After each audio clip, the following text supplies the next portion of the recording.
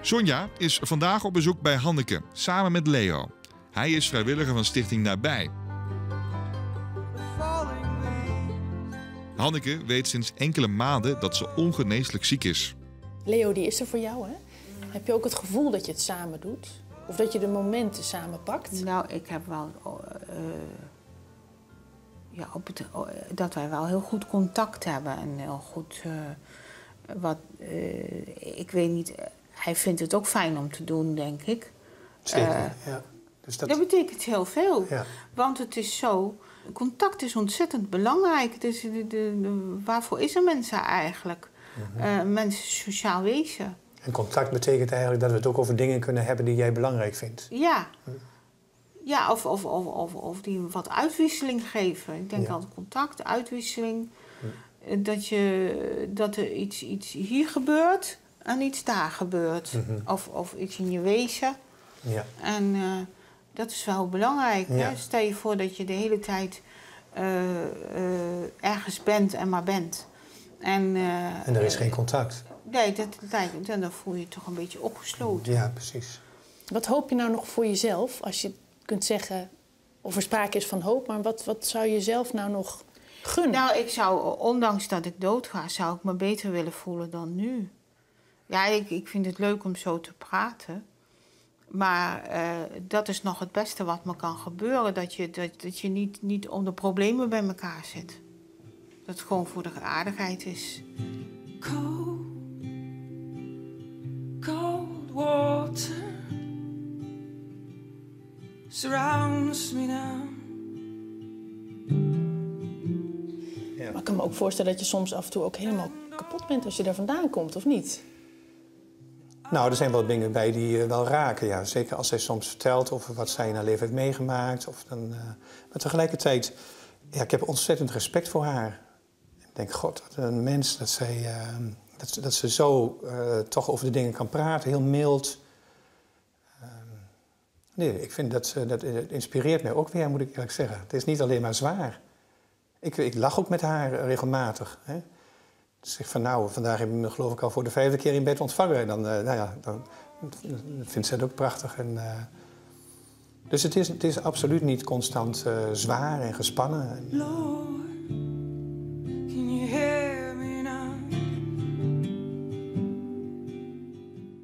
Die hersentumor, die is kwaadaardig. En die, die blijft gewoon zitten. En ik weet niet of de dood pijnlijk is. Of, ja, ik, ik heb het idee dat je eh, verschillende soorten dood kunt hebben. Eh, eh, bijvoorbeeld dat de dood gepaard kan gaan met benauwdheid. Of met pijn.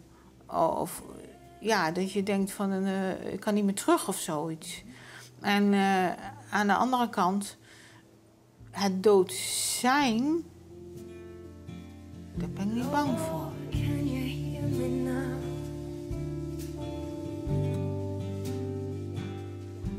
Stichting Nabij. En wat wil je als stichting betekenen voor mensen in de situatie zoals Hanneke? Eh, we willen er zijn, van mens tot mens. We gaan naast eh, de mens staan. Laatst zei iemand die, die inmiddels is overleden, zei van... bij jullie kon ik mezelf zijn. Nou, dat zijn tekenen. Als mensen dat zeggen, dan, dan, dan doe je het goed.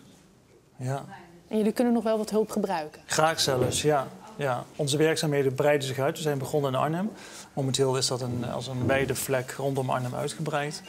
En we zijn nog steeds op zoek naar eh, gemotiveerde mensen. Net zoals Leo, die het werk als vrijwilliger bij onze stichting wil doen. Om, eh, om naast de mensen te staan die in de laatste levensfase terecht zijn gekomen. Om die een ondersteuning te geven. Maar kan nou echt iedereen dit? Dat je zegt van, als je maar luistert. ja, nou, als je die, die toevoeging doet, dan denk ik wel. Als, als, als, eh, als mensen wat eh, levenservaring hebben en eh, niet te veel oordelen over anderen en over zichzelf. Een tijdje geleden heb ik, was ik betrokken bij, met, een, met, een hele, met een hele groep van ons in het ziekenhuis. Bij een, een man die echt terminaal was. En die zo onrustig was dat de verpleging dat niet meer kon waarmaken. En de familie ook niet. Dus wij hebben toen een aantal nachten, avonden en nachten, het waken overgenomen. En die man was zo alleen maar in beweging. Eh, ja, het enige wat, wat, ik, wat ik gedaan heb, is hem af en toe vastpakken en uh, ja, wat tegen hem zeggen. En, ja. Het raakt je wel, hè? Ja.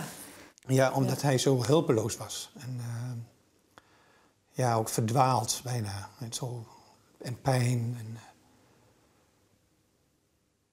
maar goed, dan doe je eigenlijk niet zoveel. Je zit er gewoon bij. En, ja dat hoor ik ook van collega's. Je, je zegt gewoon, nou, ik ga niet weg. Ik blijf bij u. En, eh, je pakt de meneer af en toe vast en streel hem over de rug. En nou, dan is hij weer rustig.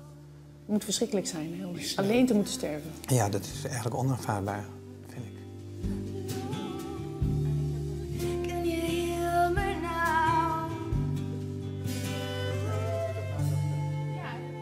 Nou, ik hoop dat je het fijn hebt gevonden. Ja, Hè, dat Ja. we over de vloer kwamen vandaag. ja, dat is leuk.